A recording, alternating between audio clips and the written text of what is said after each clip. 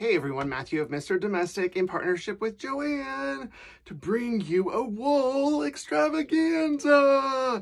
It's not generally a textile that I would go to because in my mind, it feels a certain way and I really love the feel of other types of yarn. So I was really jazzed to be able to try out all of these different wool yarns from Joann and I fell in love when I show you what I made, your mind's gonna be blown. And I've never wanted to make apparel before with crochet. And now that I know about these three different types of wool yarn that I can get, I'm gonna keep going. I'm thinking a cardigan, I'm thinking some sweaters, but I'm definitely gonna go to town. I love the texture, I love the feel, and I love the look. It looks very, very expensive.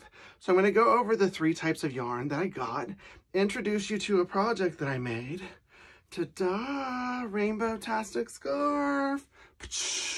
I made a little end right here. Look at rainbow, and I have a matching hat. I'll put it on later because I don't want to mess up my hair yet. But this is a simple single crochet pattern. It's single crochet, chain stitch, single crochet, chain stitch, single crochet, chain stitch. Then when you go up the other row, you alternate it and you just go back and forth and back and forth and back and forth. And it creates this lovely texture that I really like because it makes this yarn lighter and more wearable for more seasons. So these are the three types of yarn that I, I ordered. With these projects, I used this Patons, I believe it's pronounced Patons, Patons alpaca blend, which is, as we can see here, where is it, where is it, where is it? 60% acrylic, acrylic 22% wool, 10% nylon, 8% alpaca. And this, the texture and the feel is phenomenal. So that's what the project is going to be. And I'm going to demo the stitch using this yarn put this aside since this is the main event. Then I got these Buttercream Luxe Craft Roving. It uses the same size crochet hook, but it has a thicker feel. And that is because I believe dun, dun, dun, it is 100% wool. And even this, like the feel of it, I really dig it. I'm probably to make another scarf. I might actually make a jacket for Helena. I'm not sure, but I have big plans for this because look at these two colors. Like, ooh la la. This is one of my favorite combinations of colors is like a dark blue, a navy, and then a mustard. They go together. That's why every single pair of blue jeans has that color combination because ting, ting, ting, automatically expensive. And then this one. I'm not going to say this one's my favorite but this one feels amazing. Like this one I wouldn't rub on my face. I would rub all over. I wouldn't feel like I needed to wear an undershirt if I made a garment with this. So this is probably something I'm gonna make a sweater for Helena with. Shh, don't tell her. That's why I got these awesome colors. This one is 51% acrylic, 27% polyamide, and 22% wool. This one also uses between a 5 and a 6.5 millimeter. Feels a little lighter, so I probably would reach for the 5.5 or 6 before the, the larger one. But the sky's the limit because my opportunities for creating crochet things has expanded because I'm now going to start playing with wool. So let's get into this project. I can't wait to show it to you because it's super simple. And it's definitely something that I am going to replicate over and over and over again just because it like flattens it. Any of the more buoyant stitches makes it thicker, but it flattens it to where I feel like I can get the most utility out of it. So let's start with one of these. I'll bring this scarf up for your pleasure. And I'll just give you what I did with this. So this is 1, 2, 3, 4, 5, 6, 7, 8, 9, 10, 11, 12 and then 13. So this is 26 stitches. So I chained 26, one more, moved up, and then went across the row, back and forth and back and forth. And honestly, I'm to go over the stitch, but I wanted this to be obnoxiously long. So I just finished out a skein from here to the end of here. And then I started the next color. that's what I would suggest to do. Definitely get two skeins of this, and after you play with it, you're going to want more. Then I used one, two, three, four, five, six, seven, because who doesn't need a rainbow in their life? And I did four rows of each color before I moved up to the next. And then hid the, the yarn, really easy peasy, didn't take much, and added some fringe. Ta-da!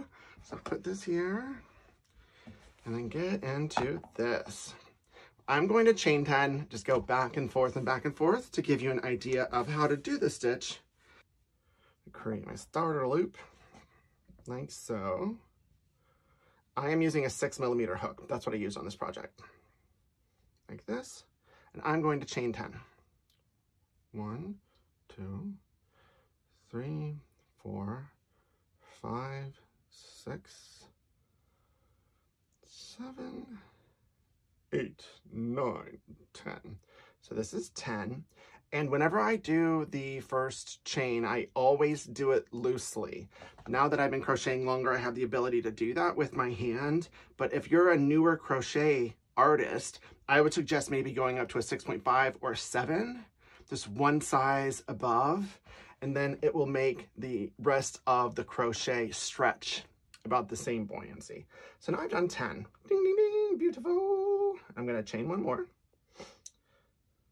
It's just the add-on. And now I'm gonna go in this stitch, which is the second stitch from over. And then this is gonna start out. Dun, dun, dun, single crochet. Okay, and then now chain one. And then I'm gonna skip one and I'm going in the bottom loop. I'm just gonna go in here, skip that one, go here, and then single crochet. And then chain one, skip again, dun, dun, dun, single crochet. Chain one, dun, dun, dun, dun, skip one, single crochet.